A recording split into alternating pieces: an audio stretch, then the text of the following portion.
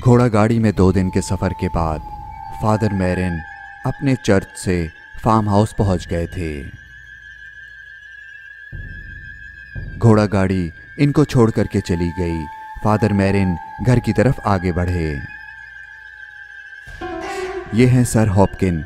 इन्होंने ही father marine को बुलाया था और उनका बेचैनी से इंतज़ार कर रहे थे। दरवाजे पर जैसे ही दस्तक हुई तो ये फ़ौरन से दरवाज़ा खोलने के लिए आगे बढ़े। फादर, मैं आपका बहुत दिन से इंतज़ार कर रहा था। यहाँ आने का बहुत बहुत शुक्रिया। आइए, अंदर आइए। फादर मेरिन, सर हॉपकिन से आज पहली दफ़ा मिले थे और नहीं जानते थे कि आखिर इन्होंने इनको बुलाया क्यों है। आपके लिए मैंने एक कमरा तैयार किया हुआ है। आप पहले थोड़ा आराम कर लें। आप यकीनन बहुत ज़्यादा थक गए होंगे। फिर मैं आपका खाने का कुछ इंतज़ाम करता हूँ। जी, बहुत बहुत शुक्रिया। फादर मैरिन बिस्तर पर आराम करने के लिए लेट गए थे। इनको सिर्फ़ इतना पता था कि सर हॉपकिन की बेगम की तबीयत ख़राब है, इसलिए इनको फार्म हाउस बुलाया गया है। फिर कमरे का दरवाज़ा खुला और सर हॉपकिन ने कहा, फादर, खाने के लिए आ जाइए। सर हॉपकिन बहुत मालदार थे और शहर से बहुत दूर अपने इसी फार्म हाउस पर बेगम के साथ रहते थे। फादर मैरिन को वो खाने कमरे में लेकर के आए। फादर मैरिन ने उनसे पूछा, आप खाना नहीं खा रहे? जी, वो मैंने पहले थोड़ा बहुत खा लिया था, और वैसे भी मुझे अभी भूख नहीं है। आपकी बेगम नज़र नहीं आ रही, वो कहाँ हैं? जी, उसकी तबीयत बहुत ख़राब है, इसीलिए मैंने आपको यहाँ पर बुलाया है। मुझे क्यों? आपने डॉक्टरों को नहीं दिखाया क्या? मैंने शहर के सब बड़े डॉक्टरों को उसे दिखाया, मगर कोई फ़ायदा नहीं हुआ। मुझे लगता है कि मेरी बीवी को सिर्फ़ आप ही ठीक कर सकते हैं। मैं ठीक कर सकता हूँ? मैं कुछ समझा नहीं। आपकी बीवी को हुआ क्या है?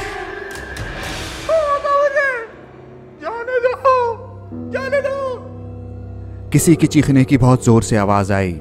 सर हॉपकिन उठ करके खड़े हो गए और बोले, ये जो चीखने की आवाज़ आपने सुनी, ये मेरी बीवी की थी। एक साल के अंदर इसकी इतनी तबीयत खराब हो गई कि मुझे यकीन नहीं आ रहा। डॉक्टरों ने कहा कि इसके दिमाग में कुछ मसला है, मगर दवाओं ने काम नहीं किया। डॉक्टरों ने फिर कहा कि आपकी बीवी पूरी पागल हो चुकी हैं और इनका इलाज मुमकिन नहीं। इनको यहीं पागल खाने में बंद करना पड़ेगा, मगर मैं ना माना और घर ले आया। मुझे किसी ने कहा है कि मेरी बीवी पर जिन्नात का साया है। शुरू में तो मुझे इस बात पे यकीन नहीं आया, मगर अब मुझे भी ऐसा कुछ लगता है। उसकी अचानक आवाज़ बदल जाती है और उसमें बेपनाह ताकत आ जाती है। वो अपने आप को और जो भी उसके करीब जाए नुकसान पहुंचाती है। प्लीज़ फादर मैरिन, मैं आपके आगे हाथ जोड़ता हूँ। आप मेरी बीवी को ठीक कर दीजिए। ओह नो, आप एक्सोर्सिज्म, यानी कि अपनी बीवी पर से जिन उतरवाना चाहते हैं, आपको मुझे पहले बताना चाहिए था। मैं चर्च की परमिशन के बगैर एक्सोर्सिज्म नहीं कर सकता और अकेले तो बिल्कुल भी नहीं। आप एक बार प्लीज़ मेरी बीवी को देख करके ये तो बता दीजिए कि क्या वाकई उस पर जिन चढ़ गया है। ठीक है, मैं देख लेता हूँ कि आपकी बीवी को हुआ क्या है। किसी के ऊपर से जिन हटाना कोई आसान काम नहीं है। फादर मैरिन के खाना खाने के बाद सर हॉपकिन उनको अपनी वाइफ के कमरे के पास ले आए। फिर कमरे का दरवाज़ा खुला और सर हॉपकिन ने कहा, फादर, अंदर आ जाइए। फिर सर हॉपकिन के पीछे फादर मैरिन अंदर चले गए। अंदर जाकर के जब फादर मैरिन ने उनकी वाइफ को देखा तो उनकी आँखें तो फटी की फटी रह गईं। उन्होंने पूछा, इनको बाँध के क्यों रखा हुआ है? और ये ज़मीन पर हड्डियाँ क्यों पड़ी हुई हैं? मैंने आपको बताया था ना कि ये बहुत ज़्यादा ख़तरनाक हो जाती है, मारने पीटने लगती है, इसलिए इसको बाँध के रखा हुआ है। और इसको खाने में सिर्फ़ कच्चा गोश्त और हड्डियाँ बहुत पसंद हैं। मिसेस हॉपकिन को बिस्तर पर जंजीरों से बाँध करके रखा हुआ था। और इनके जिस्म पर बहुत ज़्यादा जख्मों के और चोट के निशान थे। फादर मैरिन का हलक खुश्क हो गया। उन्होंने कहा, मुझे एक गिलास पानी मिल जाएगा। सर हॉपकिन फिर इनके लिए पानी लेने के लिए चले गए। मिसेस हॉपकिन के जिस्म पर बहुत ज़्यादा चोटों के निशान थे। फादर मैरिन सोच रहे थे कि क्या वाकई इन्होंने अपने आप को ये नुकसान पहुँचाया है। फिर अचानक उसी वक्त मिसेस हॉपकिन जाग गई और बोली, फादर, प्लीज़ मुझे बचा लीजिए। हॉपकिन हॉपकिन मुझे मार डालेगा ये मेरे जिस्म पे निशान। उसने मुझे मारा है। उसने मुझे बाँध के रखा हुआ है। सर हॉपकिन, आपको क्यों मारेंगे? वो मेरी सारी जायदाद पर कब्जा करना चाहते हैं। मेरे पास वक्त बहुत कम है। उन्होंने सारे नौकरों को निकाल दिया है। अब वो मुझे यकीनन जल्द मार डालेंगे। मिसेस हॉपकिन आपकी तबीयत ठीक नहीं है इसलिए आप ऐसा सोच रही हैं। सर हॉपकिन तो आपके लिए बहुत ज़्यादा फिक्रमंद हैं। आप भी उसकी बातों में आ गए, फादर। ये हड्डियाँ उसने फेंकी हैं आपको बेवकूफ़ बनाने के लिए। वो मुझे दवाओं के इंजेक्शन लगाता है ताकि मैं उल्टी सीधी हरकतें करूँ और दुनिया को बता सके कि मैं पागल हो गई हूँ। वो एक शिकारी है। वो मुझे मार डालेगा वैसे ही जैसे इसने अपनी पहली बीवी को मारा था। ये सुनकर के फादर मैरिन की जान निकल गई। उसी वक्त सर हॉपकिन कमरे में आ गए पानी का गिलास लेकर के।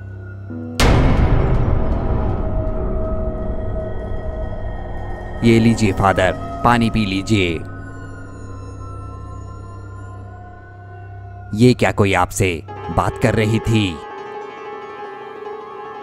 नहीं वो नींद में कुछ कह रही थी समझ नहीं आया। सर हॉपकिन फादर को घूर घूर के देख रहे थे। फादर मैरिन ने फिर पूछा आपके नौकर नहीं है घर पे? आपको खुद पानी लेके आना पड़ा? इसके खौफ की वजह से सब छोड़ करके चले गए।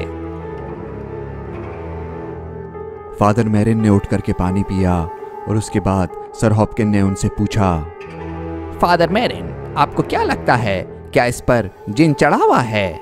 नहीं अभी तक तो मैंने ऐसा कुछ नहीं देखा जिससे मैं कह सकूँ कि इन पर वाकई कोई जिन चढ़ा हुआ है। मुझे लगता है आपको मेरी बातों पर यकीन नहीं आया।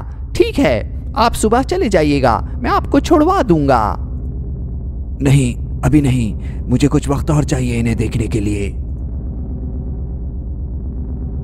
ठीक है, आपकी मर्ज़ी। मैं अपने कमरे में सोने के लिए जा रहा हूँ।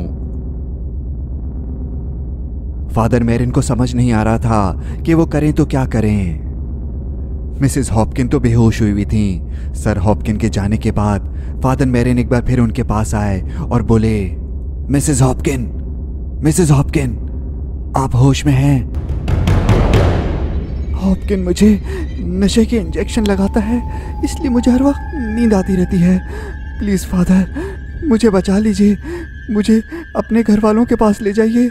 आप ही मुझे बचा सकते हैं, फादर। सिर्फ़ आप ही मुझे बचा सकते हैं। ओके, मैं खोलता हूँ आपको। आप बिल्कुल फ़िक्र नहीं करें। शिकार किए हुए जानवरों के सर दीवार पे लगे हुए थे। फादर मेरिन कमरे से बाहर निकले और इधर उधर देखने लगे कि कहीं सर हॉपकिन तो नहीं है यहाँ पर। मेरे पीछे आ जाइए आप। फादर ने मिसेस हॉपकिन को खोल दिया था। अब इनको घर से बाहर निकालना था। फिर अचानक वो रुक गए। सामने से सर हॉपकिन आ गए और बोले, फादर मैरिन, कहाँ जा रहे हैं आप? आपका कमरा तो दूसरी तरफ़ है। आप तो सोने के लिए चले गए थे। ये आपके हाथ में क्या है? सर हॉपकिन के हाथ में एक बड़ी सी सिरिंज थी, जिसमें लाल रंग की दवाई भरी हुई थी। हाँ मैं सोने लेट गया था। बाद में मुझे याद आया कि मैं रात का इंजेक्शन इन्हें लगाना भूल गया हूँ तो मैं वही लगाने के लिए जा रहा था। सर हॉपकिन मैं सब जान गया हूँ। प्लीज़ आप ऐसा मत करें। आप अपनी बीवी को जाने दें। फादर मैरिन आप क्या जान चुके हैं? मैं समझा नहीं। यही कि आपकी बीवी को कुछ नहीं हुआ है।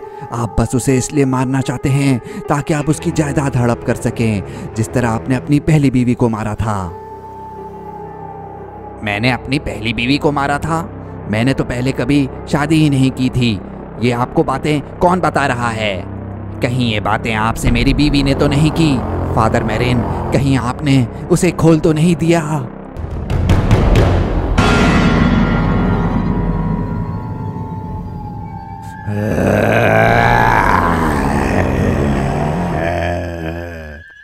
फादर मैरिन भाग करके दीवार के साथ खड़े हो गए।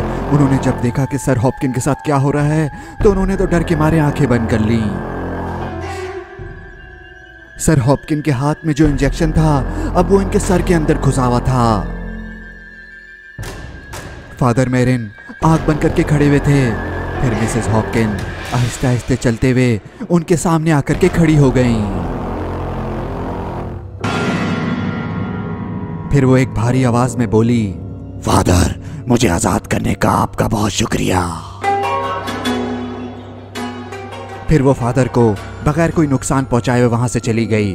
फादर मैरिन को चक्कर आया और वो ज़ोर से ज़मीन पर गिर गए। फादर मैरिन की किस्मत अच्छी थी कि वो बच गए, मगर सर हॉपकिन मारे गए। मिसेस हॉपकिन पर वाकई जिन चढ़ा हुआ था, जो कि फादर मैरिन को धोखा दे करके वहाँ से भाग गया।